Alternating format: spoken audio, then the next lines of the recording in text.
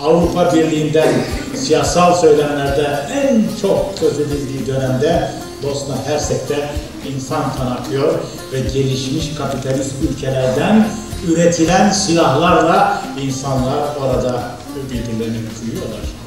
Ve bütün dünya buna seyirci kalıyor. Neden?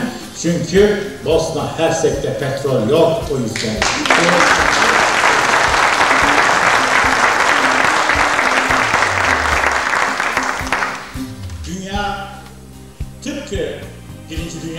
Savaşı öncesi olduğu gibi pergel ve cetvelle bölünüyor ve pergel ve cetvelle sınırlar çiziliyor.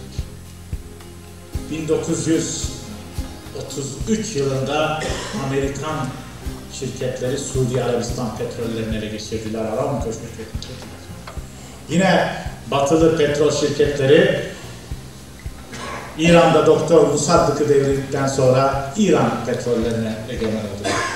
İşte bugün yaşanan kavga, Kuzey Irak'ta yaşanan kavga yıllık geliri 16 milyar dolar olan Musul ve Kerkük petrollerine Batı şirketlerinin egemen olma kavgasıdır. İşte bu kavga için Kürt Kürt'e, Türk Türk'e kırdırılıyor. Bunu çok açık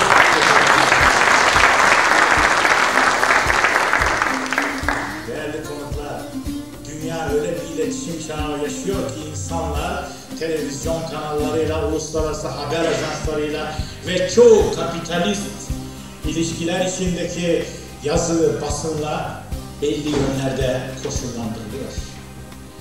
Örneğin Saddam Hüseyin'i savaştan önce kim silahlandırdı? Hangi batı kapitalist ülkelerinden çıkan silahlar Saddam'a ulaştı? Bu akla çok geç gelebiliyor. Değerli konuklar, 20. yüzyılda dünya silah ticareti 3 dönemde doruk noktasına sıçradı.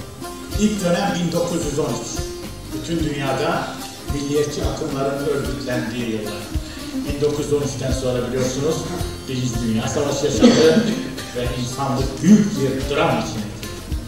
Yine dünya silah ticaretinin 1933 yılından sonra büyük tırmanış gösterdiği yıl 1933 yılıdır. 1933 yılında biliyorsunuz kıta Avrupa'sında nasyonel sosyalist akımların silahlı örgütlere kavuştuğu yıllardır ve İkinci Dünya Savaşı'na hazırlık yıllarıdır.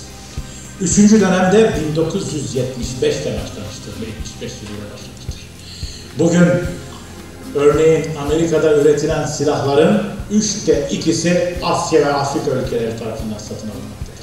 Bu da dünya silah ticaretinin soğuk savaştan sıcak savaşa kadar her alana egemen olduğunu gösteriyor. Ülkemize dönelim. 1980 öncesi Türkiye'deki terör ve kanlı çatışma döneminde nereden gelen silahlar kullanıldı? Genelkurmay Başkanlığı'nın açıkladığı rakamlara göre ele geçen 822 bin silahın onda dokuzu NATO ülkelerinde üretilmiştir. Milyonlarca mermi yine NATO ülkelerinden üretilip Türkiye'ye bir Varşova Paktı üyesinin topraklarından bir Varşova Paktı üyesinin devlet şirketleri aracılığıyla sokulmuştur. Bulgar şirketleri ve Kintex şirketi Türkiye'ye milyonlarca mermi ve yüz binlerce silah sokmuş ve bu Bulgar şirketleri Türkiye'deki temsilcilerini milliyetçi, muhafazakar politikacılar, milletvekilleri, eski bakanlar ve eski Milli İstihbarat Teşkilatı mensupları arasından seçmiştir. Ve Türkiye 12 Eylül dönemine böyle bu koşullar Türkiye tam anlamıyla Batı silah tekerlerinin Türkiye'ye bir Varşova Paktı üyesini kullanarak soktuğu silahlarla destabilize edildi.